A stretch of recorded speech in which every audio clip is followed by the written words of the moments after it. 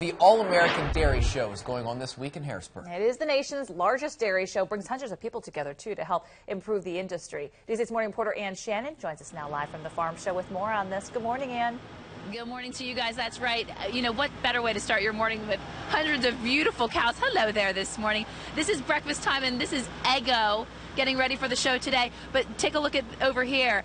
This is the kind of work ethic that you find here at the All American Dairy Show. This guy just waking up from a, a little bit of a nap only to find himself on live morning television. Just what he wanted, huh? Hey, you know, this is a huge show here at the Farm Show Complex. People come from all over the country in order to kind of learn from one another and see what's going on in the dairy industry. This is Jim Sharp with the All American Dairy Show. So give me an idea of the size of this show. Uh, we have over 2,400 cows here from uh, 21 states. Uh, we have over a thousand uh, animal exhibitors here, and um, a lot of youth activities that go on here. Uh, we'll have over 2,000 different youth participate in uh, various contests and and breed shows.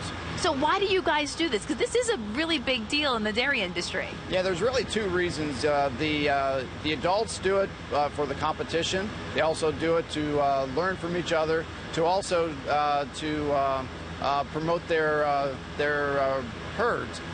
the youth do it uh, because they, uh, it's a great learning experience. Uh, it's a great activity for the family.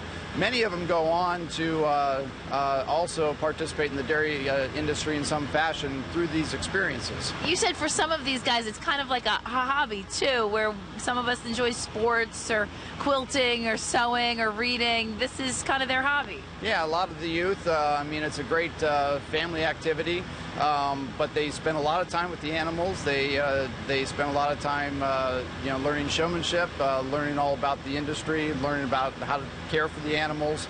Uh, so, uh, but it's it becomes a lifelong uh, activity for many for many families. A lot of fun, a lot of hard work too. These guys are up before we even arrive. Oh yeah, many of these folks will start at two o'clock in the morning or even three o'clock in the morning, getting ready for the you know today's show.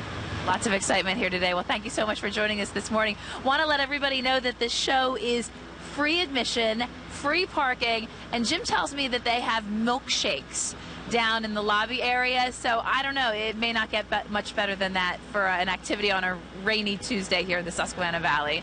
That's the latest from here. We'll send it back to you guys. That sounds Always good. a good time yeah. for milkshakes. Yeah, very good. Enjoy. And thank you. Hey, thanks, Ann.